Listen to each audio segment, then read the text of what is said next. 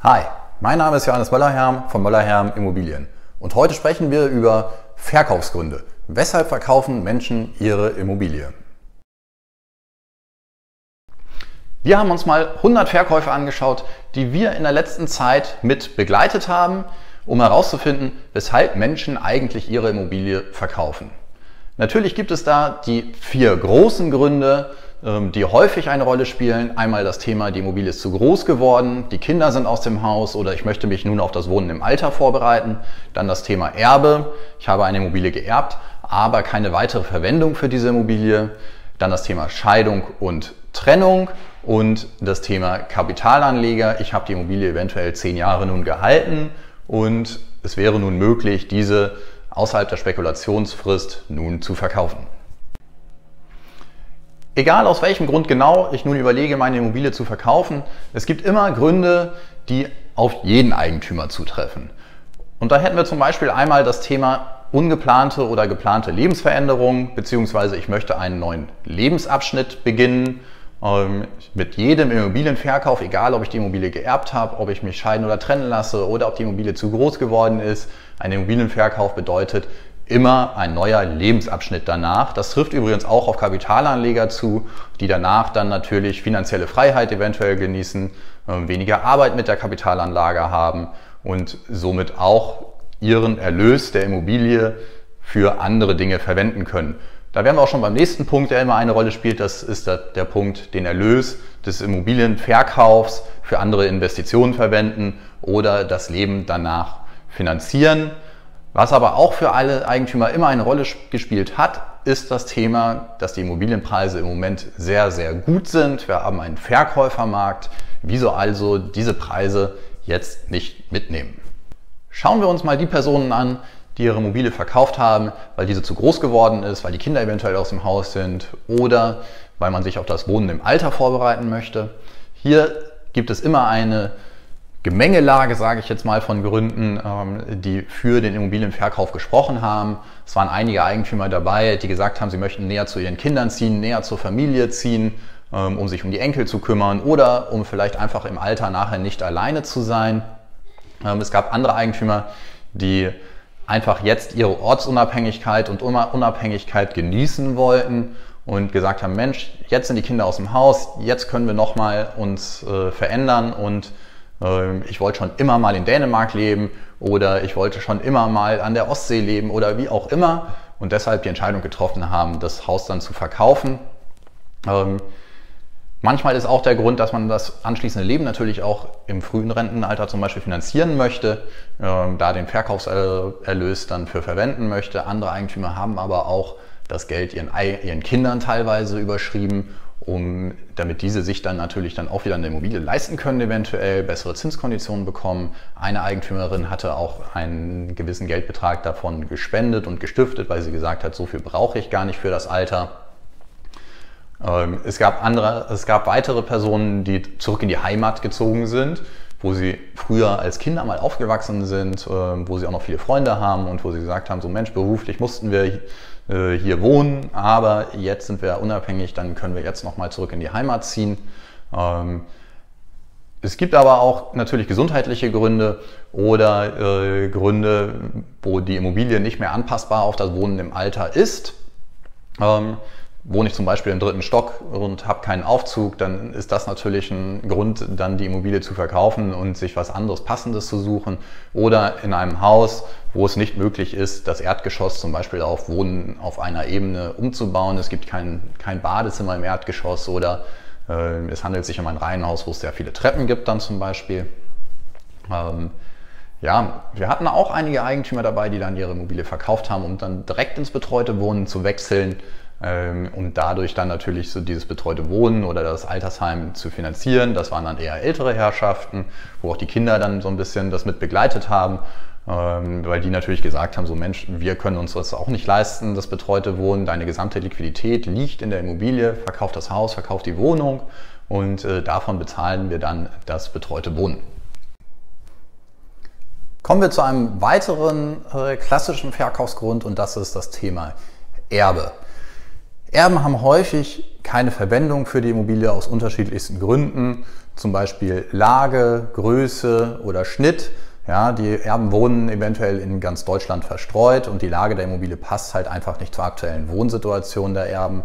Äh, manchmal ist auch der Fall, dass die Immobilie einfach zu renovierungs- oder modernisierungsbedürftig ist, sodass noch viel in die Immobilie investiert werden müsste, um diese wieder auf einen aktuellen Wohnstandard zu heben, ähm, weshalb sich Erben dann dazu entschließen, die Immobilie lieber zu verkaufen und dann das erlöste Geld dann eventuell für einen Kauf einer anderen Immobilie im eigenen Einzugsgebiet dann zu verwenden.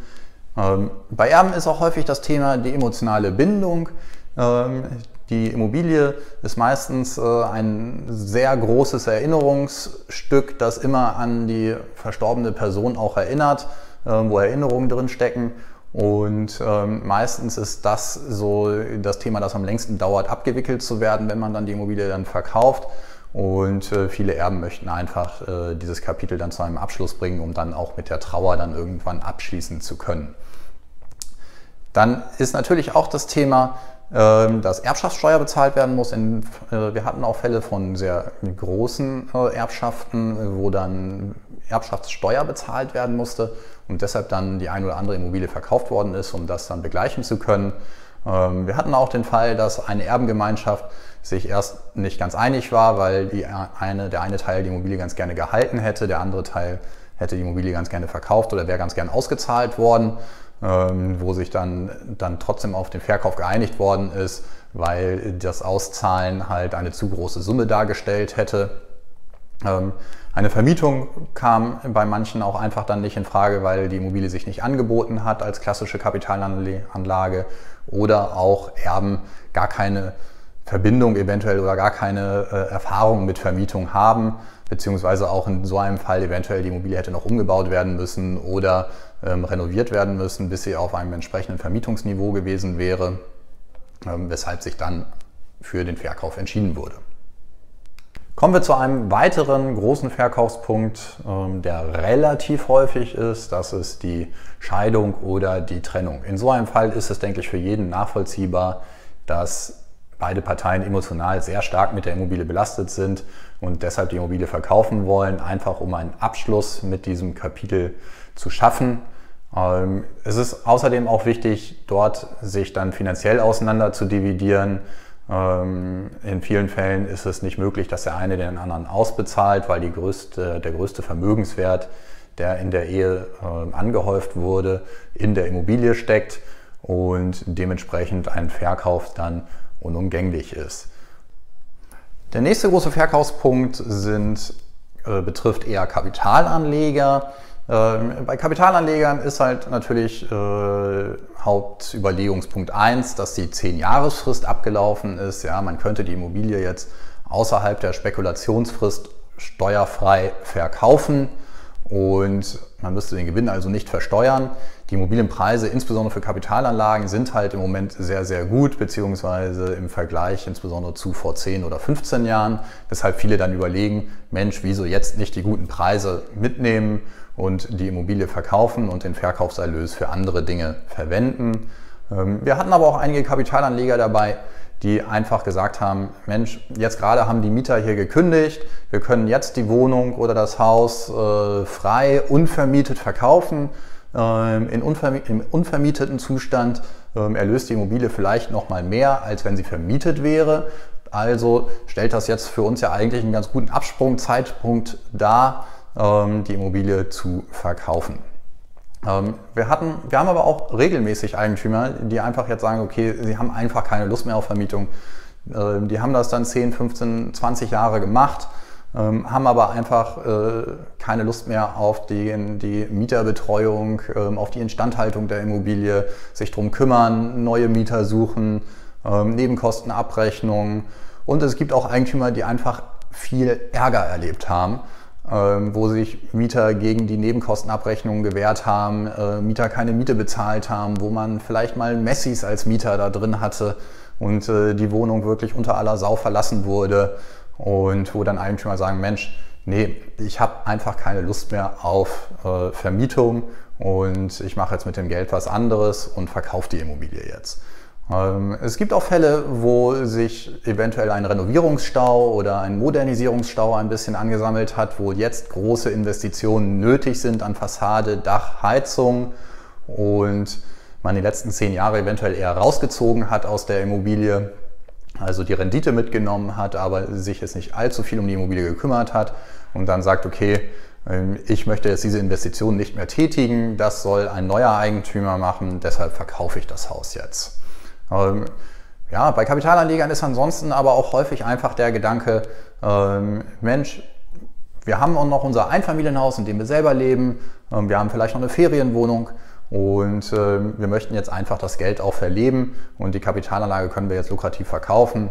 Oder ich möchte eine neue, eine andere Kapitalanlage kaufen an einem anderen Standort, wo ich vielleicht nicht ganz so weit hinfahren muss. Ja. Wenn man eine Kapitalanlage als Immobilie besitzt, dann muss man sich auch darum kümmern, immer mal hinfahren. Ähm, dass man halt sagt, okay, ich möchte einfach äh, dieses investierte Geld woanders investieren, für was anderes verwenden. Eine weitere Gruppe von Eigentümern, ähm, die bei uns verkauft haben, ähm, haben auch ihre Ferienimmobilie verkauft oder ihren Zweitwohnsitz zum Beispiel verkauft, weil wir sind zum Beispiel auch in Ferienregionen tätig und hier ist es häufig so, dass ihr die Ferienimmobilie einfach nach mehreren Jahren vielleicht ihren Reiz ein bisschen verloren hat. Die Kinder sind vielleicht auch aus dem Haus, die früher mitgefahren sind in den Urlaub. Ähm, oder man besitzt diese Ferienimmobilie schon seit 20, 30 Jahren, ähm, hat diese vielleicht auch schon von seinen Eltern irgendwann mal geerbt und sagt, okay, ich brauche einfach mal was anderes. Ich kenne jetzt hier wirklich jeden Stein. Ähm, ich kenne alle Spazierwege und ähm, für mich ist das jetzt eigentlich keine wirkliche Entspannung mehr, hier hinzufahren. Stattdessen macht die Ferienimmobilie eventuell eher Arbeit, ähm, dass sich gekümmert werden muss, dass sie instand gehalten werden muss und gepflegt werden muss und man trotzdem dann insbesondere im Frühjahr und Herbst dann hinfahren muss und sich darum kümmern äh, muss, aber eigentlich nur zwei Wochen Urlaub dort mal gemacht hat jetzt dieses Jahr. Sodass dann irgendwann die Entscheidung getroffen wird, Mensch, lass uns die Immobilie verkaufen und mit dem Geld was anderes machen, vielleicht eine Ferienimmobilie woanders kaufen ähm, oder einfach das Geld verleben oder äh, anderweitig verwenden. Ähm, es gibt auch Eigentümer, die ihre Immobilie dann vermietet haben, in der Ferienvermietung äh, hatten ähm, und eventuell stehen dort jetzt einfach auch nochmal Renovierungen und ähm, und Modernisierungen an, nicht nur an der Immobilie, sondern auch das Mobiliar müsste jetzt vielleicht mal ausgetauscht werden. Der ein oder andere äh, Eigentümer hat vielleicht auch schlechte Erfahrungen mit Ferienvermietung gemacht, dass, äh, dass Dinge geklaut worden sind in der Ferienvermietung, dass, äh, dass Dinge zerstört worden sind und ersetzt werden mussten. Ähm, ja, und das sind dann halt Gründe, wo dann gesagt wird, so, nee, habe ich keine Lust mehr drauf und ähm, deshalb verkaufe ich diese Wohnung oder das Haus jetzt. Ja, neben den großen besprochenen Verkaufsgründen, die wir jetzt gerade schon besprochen haben, gibt es natürlich noch viele kleinere oder andere Gründe, weshalb man seine Immobilie verkauft. Ähm, dazu zählt zum Beispiel auch, dass die Immobilie zu klein geworden ist. Wir hatten auch Eigentümer dabei, die dann zum Beispiel unerwartet äh, Zwillinge bekommen haben und das Haus dann plötzlich zu klein war oder äh, Eigentümer, die eigentlich eine Immobilie gekauft hatten vor einigen Jahren und dann festgestellt haben, dass sie jetzt ganz gerne noch einen Wintergarten hätten. Der ließ sich aber leider an der bestehenden Immobilie nicht anbauen, weshalb sich dann dafür entschlossen wurde, dann doch auch nochmal eine andere Immobilie zu kaufen. Ähm, eventuell ändern sich auch die Anforderungen manchmal, dass man sagt, okay, ähm, ich möchte jetzt äh, Wohnen und Arbeiten unter einem Dach realisieren, ja und brauche zusätzlich eventuell noch eine gewerbliche Werkstatt oder eine Halle und ich möchte ganz gerne eine Immobilie haben, wo ich das alles in, auf einer Liegenschaft äh, realisieren kann, weshalb dann gesagt wird, so, okay, wir, wir verkaufen die aktuelle Immobilie und kaufen etwas anderes, was diesen Anforderungen entspricht. Ähm, dann hatten wir auch den einen oder anderen Fall, wo einfach ähm, dann die finanzielle äh, Situation sich geändert hat und die Immobilie nicht mehr gehalten werden konnte, zum Beispiel weil man den Job verloren hat oder weil man einen Unfall hatte und dann halt gesagt wurde, so, okay, ich brauche jetzt eine kleinere Immobilie oder ich äh, möchte ganz gerne jetzt zur Miete wohnen, äh, einfach weil die Rate der Immobilie halt nicht mehr bezahlbar ist ohne den vorigen Job. Ich hoffe, dir hat das Video gefallen. Ich habe die kompletten Notizen zum Video nochmal bei uns auf der Internetseite hochgeladen. Den Link verlinke ich in der Videobeschreibung. Dort kannst du dir also nochmal alles Gesagte nochmal in schriftlicher Form als PDF herunterladen. Bis zum nächsten Mal.